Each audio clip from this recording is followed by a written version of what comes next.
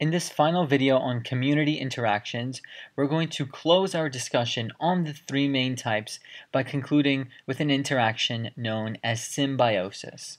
So we'll entitle this final community interactions flowchart Community Interactions 3. And in this flowchart, we will be looking at symbiosis, which is a community interaction of uh, great notice for us because it's quite interesting in terms of its overall actions in the community that we study. So we'll call this symbiosis as a subtitle for this flowchart. So sim means together or the same or with each other and we're talking about a biological process. Biosis would mean a biological process and we can further define this word by stating the following. Our general definition of symbiosis will be the following. It's an intimate long-term so these are key ideas here. It's an intimate, long-term, long-term relationship between two or more species. So it's an intimate, long-term relationship between two or more species. So of course, two or more would be S double P. And this is going to play itself out in the fact that it's going to certainly involve, and it involves one species um, living in or on another.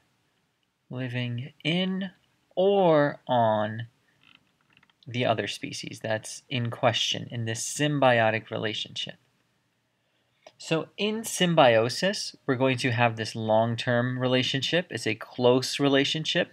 And it's going to be this idea of living in or on another species. This can be seen in three main forms in nature, and we'll look at those three main forms on this side of the flowchart. And this is where we're going to be looking at the plus minus, minus minus, minus plus, whatever situation that comes about in terms of the community interaction that we see. And this is, of course, community interactions, Roman numeral 3. So the three main forms are the following. We have one form known as parasitism, something that you probably have heard of before. And parasitism is a plus-minus relationship. It's a plus-minus interaction between members of a community. There's also the idea of something called mutualism, Another term you've probably heard before, and this, because it's mutual, it's going to be a plus-plus interaction between two species.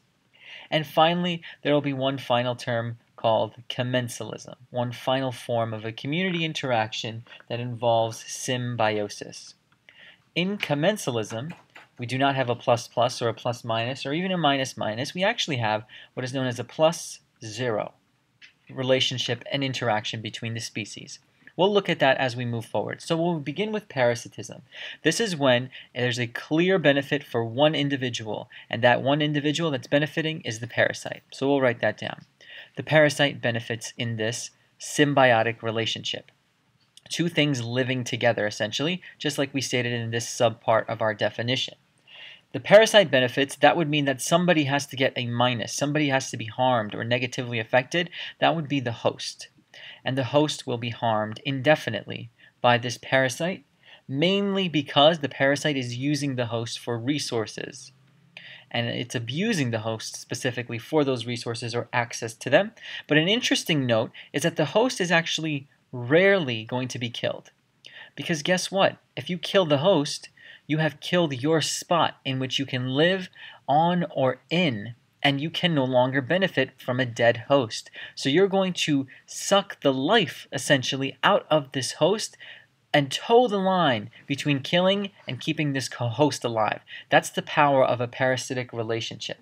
And a classic example that's often seen in real life is heartworm, and that's a parasite that's often shows uh, shows itself in dogs. It's a very, very bad parasite, bad for the dog, good for the parasite. And the problem with this is that the dog gets more and more sick uh, the longer the parasite is there because we have an increased uh, parasitic benefit and an increased host harm the longer we have this parasite within the organism. So that's parasitism. Very clear that there's somebody benefiting and somebody not benefiting from this relationship, this living together relationship, this symbiotic relationship. In mutualism, we have the idea of both partners. So, of course, we have a symbiosis right now. So, there are going to be two partners, two species. Both partners benefit so much so that they actually become dependent on each other and are dependent so they need each other, so much so that without each other, they cannot succeed in the environment. So depend on each other. It's a mutually beneficial relationship in this situation. A classic example that we're actually going to be looking at in great detail in Bio 2, but mentioning for right now in Bio 1, is mycorrhizae. So this is the classic mutualistic example because it's seen all over the place. And it's not technically seen, but microscopically we know that mycorrhizae are all throughout the plant and fungi world. This is a mutualistic relationship between plant and fungi.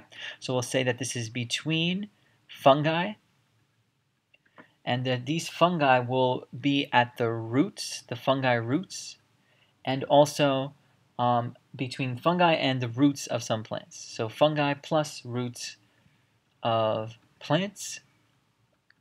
So there's going to be these fungi spread throughout the roots of the plants. How is one going to benefit and how is the other going to benefit because we have a plus plus relationship?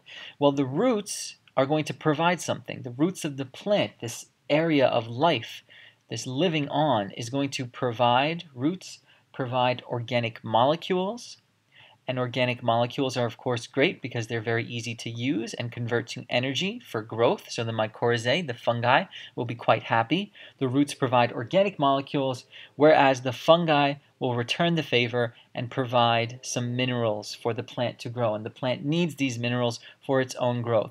What happens is, and this is a critical, critical mutualistic relationship, when we start utilizing pesticides or um, plant killers ineffectively or too much, we start interrupting mycorrhizae relationships between fungi and plants, and we throw the whole system, the whole community out of whack because we have this intimate relationship, long term relationship between fungi and plants. And if we mess this up, we mess up a lot above the food chain, let's say. And that's something we'll get to when we look at trophic levels in a later video. So mutualism is a plus-plus relationship, and we'll conclude with commensalism, which is a plus-zero relationship. So there's a plus slash zero. This is when one organism benefits, so that's the plus, and on the other side of the equation, the other part of this relationship, the other is neither harmed nor benefits. Other, neither harmed or benefited. So they don't get anything out of this, and one part of the organism does get something out of this. The classic example for this um, are tropical trees and their epiphytes. So tropical trees will be one organism plus epiphytes, which is the other organism that's within this commensalism relationship. What happens is epiphytes are these small plants that are laden throughout the bark of these large tropical trees. And what we see is the following. The epiphytes attach to the bark, so epi attaches to bark. So that's our living on or in relationship. And they do not obtain, uh, they use this bark, uh, but do not obtain any of the food or water from the tree. So they don't take anything away. They're not a parasite. Do not obtain food or water from tree. So it's definitely not parasitic. This is the idea of zero, neither harmed nor benefited. But what does happen? Somebody has to benefit, and the epi, the epiphyte will benefit because this is what's going to happen. The epiphyte benefits in this relationship, this commensalism relationship, by getting more light. This is something that will not affect its bark host, its tropical tree host. It'll just gain access to more light. And if it gains access to more light, it's going to have access to uh, a bit more, let's say, of the resources and thus more nutrients. more nutrients, so N-U-T-S for nutrients, that wash down, that just happened to wash down the tree as excess, let's say, and thus the epiphyte is not going to be bothering the tree. It's just getting the, the last bits of these nutrients, the last bits of water that the tree no longer needs. So that's why we have a plus zero relationship. Overall, we have now completed the community interactions that we see within community ecology. We looked at the idea of uh, competition, which was a minus-minus relationship. Then we looked at predation, which was a plus-minus relationship. And then finally, we've concluded with symbiosis, which can be a variety of plus, minus, plus, plus, and plus zero relationships, as defined and noted by this long term relationship that involves living in or on another species.